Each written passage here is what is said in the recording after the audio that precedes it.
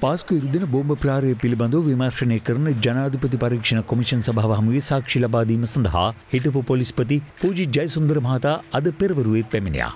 අප්‍රේල් නවන දින ප්‍රහාරයක් එල්ලවී හැකි බවට ලද බුද්ධි තොරතුරු සම්බන්ධයෙන් පසුගේ විසිහය වනදා විශේෂකාර බලකායේ එවකට අනදෙන නිල්ධාරී ජේෂ්ඨ නියෝජ්‍ය පොලිස්පති එම්ආර් ලතිෆ් මහතා දැනුවත් නොකළ බවට කළ ප්‍රකාශය සම්බන්ධයෙන් කොමිසමේ අවධානය යොමුණා. අදාළ බුද්ධි තොරතුර සම්බන්ධයෙන් තමන් දුරකථනයෙන් දැනුවත් නොකළ බව එම්ආර් ලතිෆ් කොමිෂන් සභාවහමේ සාක්ෂි දෙමින් පවසා තිබුණා. ඒක වැරදි කතාවක්. මම ඔහුට අදාළ බුද්ධි තොරතුර සම්බන්ධයෙන් දුරකථනයෙන් කතා කරලා දැනුම් දුන්නා. එය ඔහුගේ අදහස වෙන්න පුළුවන්. නමුත් මම ඔහුට ඒ බව දැනුම් දුන්නා. ඒ පිළිබඳව පිළිබඳව විශේෂ කාර්ය බලකායේ එවකට අනදින නිලධාරී ජේෂ්ඨ නියෝජ්‍ය පොලිස්පති එම්.ආර්. ලතීෆ් ඇතුළු නිලධාරීන් සුදුසු ක්‍රියාමාර්ගයක් ගනු ඇති බවට මම විශ්වාස කළා. එමෙන්ම එම තොරතුර මට ලැබුණු අප්‍රේල් මාස 9 වෙනි දිනම උසස් පොලිස් නිලධාරීන් හතර දෙනෙකුට එම තොරතුර යොමු කළා. ඔවුනුත් ඒ සඳහා සුදුසු ක්‍රියාමාර්ග ගනු ඇතැයි මම විශ්වාස කළා. අදාළ තොරතුර සම්බන්ධයෙන් සුදුසු ක්‍රියාමාර්ග ගන්නා ලෙස දන්වා එනම් ෆො නෙසසරි ඇක්ෂන් යනුවෙන් පමණක් සඳහන් කර ඒ නිලධාරීන් වෙත යොමු කර තිබීම පිළිබඳව පැහැදිලි කරන්න. එවකට පැවති සංහිඳියාව ඇතිකිරීමේ වැඩපිළිවෙල සහ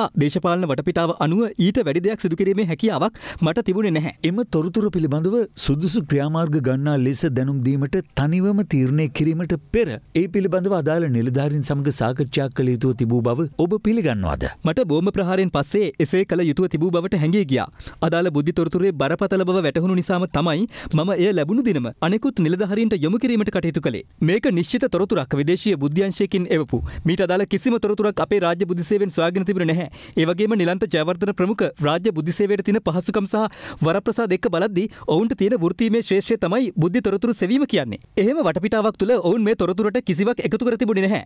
විදෙස් බුද්ධි තොරතුරු විතරයි එව්වේ. ලැබුණු තොරතුරේ ත්‍රස්ස ප්‍රහාරයක් දියත් කළ හැකි බවට සඳහන් පුද්ගලින් වූ සහරන් හෂීම්, රිල්වාන් හෂීම්, ශිහාඩ් සහ මිල්හන් වැනි අය නැගිනීර පලාතේ පදිංචිකරුවන් නිසා එම තොරතුරු පිළිබඳව නැගිනීර පලාත භාර ජේෂ්ඨ නියෝජ්‍ය පොලිස්පතිවරයා දැනුවත් කිරීමට පියවර ගත්තාද. මම එහෙම කළේ නැහැ. ඒ අවස්ථාවේ ඒ පිළිබඳව ඔහුට දැනුම් දිය යුතුයි කියලා මට මතක් වුණේ නැහැ. නමුත් දැන් මට හිතෙනවා ඔහුව දැනුවත් කළා නම් ගොඩක් හොඳයි කියලා. අදාළ තොරතුර අතිශයින්ම රහසිගත තොරතුරක් ලෙස එනම් ටොප් සීක්‍රට් ලෙස ඔබට යොමුකර තිබීම හරහා එය ඉතා වැදගත් තොරතුරක් ලෙස සැලකිය යුතු නැද්ද.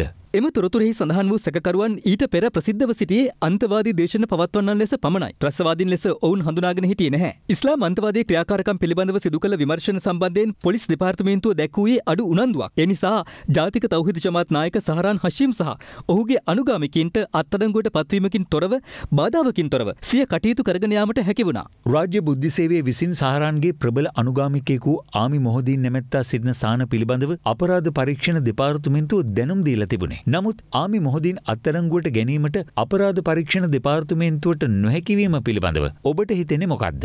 ඒ සඳහා රාජ්‍ය බුද්ධිසේවය සහ අපරාධ පරීක්ෂණ දෙපාර්තමේන්තුව යන ආයතන දෙකම වගකිව යුතුයි. එවකට රාජ්‍ය බුද්ධිසේවය තිබුණේ මගේ පාලනයෙන් බැහැරව. ඒ නිසා රාජ්‍ය බුද්ධිසේවය මගේ කාර්යාලයට යොමු කරන බුද්ධි තොරතුරුවල අඩුපාඩුවක් පෙන්වා දීමේ හැකියාවක් මට තිබුණේ නැහැ. කිසියම් කාර්යයක් අවසන් වනතුරු කිසිදු නිලධාරියෙකුගේ හෝ ආයතනයක රාජකාරිය අවසන් වෙන්නේ නැහැ. ඒ නිසා ආමි මොහිදීන් නැමැත්තා අත්අඩංගුවට ගැනීමට අපරාධ පරීක්ෂණ දෙපාර්තමේන්තුව පියවර නොගත් බව රාජ්‍ය බුද්ධිසේවය විසින් ඉහළ නිලධාරීන්ට දැනුම් දිය යුතුව තිබුණා. අපරාධ පරීක්ෂණ දෙපාර්තමේන්තුව විසින් අදාළ සැකකරු අත්අඩංගුවට ගැනීම සඳහා වරෙන්තුවක්ද නිකුත් කර තිබියදී ඒ ක්‍රියාත්මක නොකර තොරතුරු කරුවෙකු ලෙස යොදා ගැනීම සම්බන්ධයෙන්ද ඔබේ අදහස මොකක්ද? අත්අඩංගුවට ගැනීම සඳහා වරෙන්තුවක් නිකුත් කර ඇති සැකකරුවෙකු අත්අඩංගුවට නොගෙන ඔහු තොරතුරුකරුවෙකු ලෙස යොදා ගැනීමට අපරාධ පරීක්ෂණ දෙපාර්තමේන්තුවට හැකියාවක් නැහැ. අත්අඩංගුවටගෙන අවශ්‍ය නීතිමය පියවර ගැනීමෙන් අනතුරුව අවශ්‍ය නම් සැකකරුවෙකු තොරතුරුකරුවෙකු ලෙස යොදා ගැනීමට හැකියාව තියෙනවා. සහරාන් සහ ඔහුගේ අනුගාමිකයන් අත්අඩංගුවට ගැනීමේ වරෙන්තු ක්‍රියාත්මක කිරීමට පොලිස්පතිවරයා ලෙස ඔබට නොහැකි වූයේ ඇයි?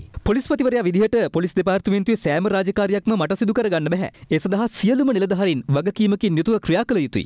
අපරාධ පරීක්ෂණ දෙපාර්තමේන්තුව ආමි මොහොදින් අත්තරංගුවට ගත්තනම් ඔහුගෙන් සහරාන් හශීම්ගේ ත්‍රස්ත ජාලයේ තොරතුරු අනාවරණය කරගෙන මේ ප්‍රහාරය වලක්ව ගන්න ඉඩ තිබුණ නේද? ඔව් ස්වාමීනි. මට දැන් එහෙම හිතෙනවා. ආමි මොහිදීන් සහරාන් සමග පැවති සම්මතතාවයේ සලකා බලද්දී ඔහු අත්අඩංගුවට ගත්තා නම් බොහෝ කරුණු හෙළි කරගන්න පුළුවන්කම තිබුණා. එහෙම හෙළිදරව් වුණා නම් ඒ ඔස්සේ සහරාන් වගේම අනෙකුත් සැකකරුවන්වත් අත්අඩංගුවටගෙන ප්‍රහාරය වලක්ව ගන්න තිබුණා.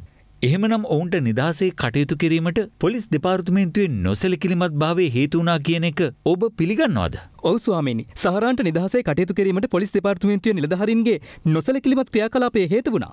මේ අතර පාර්ලිමේන්තු මන්ත්‍රී විජේදාස රාජපක්ෂ සහ මුජිබ රහමාන් යන මහත්වරුන්ද අද පසුරුවේ පාස්කු ප්‍රහාරය සම්බන්ධින් විමර්ශනය කරන ජනාධිපති කොමිසම හමුවට පැමිණියා.